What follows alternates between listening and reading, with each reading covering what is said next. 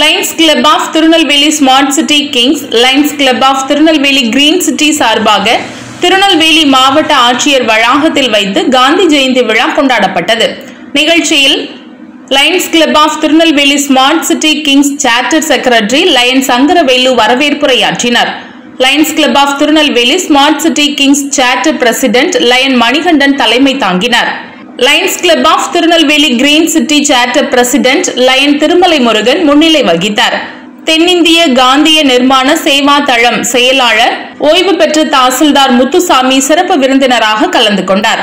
Lions club of Tirunelveli green city president lion doctor Karthik Duraisamy secretary lion Sorna Ganesh secretary lion Vijayan Natarajan charter treasurer lion advocate Balamurugan treasurer lion Tukaram ஆகியோர் கலந்து கொண்டு வாழ்த்துரை வழங்கினர். நிகழ்ச்சியில் தலைவர்கள் lion Manikandan lion doctor Karthik Duraisamy செயலாளர்கள் lion Sankaravelu lion Sorna Ganesh lion Vijayan Natarajan பொருளாளர்கள் lion advocate Balamurugan lion Tukaram ஆகியோர் கலந்து கொண்டனர்.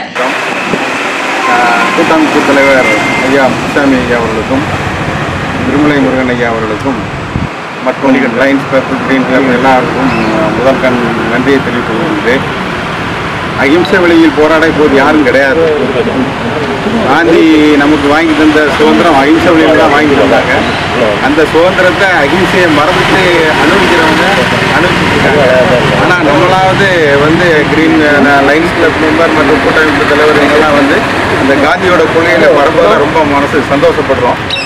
எதிர்கால இளைஞர்களுக்கு இந்த அகிம்சையை பற்றி நாம் எடுத்து உரைக்கணும். எடுத்து உரைத்து அவங்களை நல்வழியில் திருப்பி மீண்டும் ஒரு சுதந்திரத்தை இந்தியாவிற்கு வாங்கி தர அனைவரும் பாடுபட வேண்டும் என்று கூறி இந்த அமைப்பில் எனக்கு பேசுவதற்கு வாய்ப்பளித்த அனைவருக்கும் நன்றி நன்றி ரெண்டாவது லைன்ஸ் கிளப்பை பொறுத்தவரை மகாத்மா காந்திக்கு மாலை அணிக்கு தகுதி விட்டது லைன்ஸ் கிளப் தான். ஏன்னா இந்த மாதிரி தொட்டு தான்.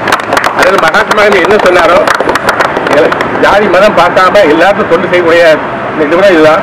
சொல்ல போனா லைன்ஸ் கிளப் முழுவதும் நிறைய சேவை செஞ்சுட்டு இருக்கீங்க.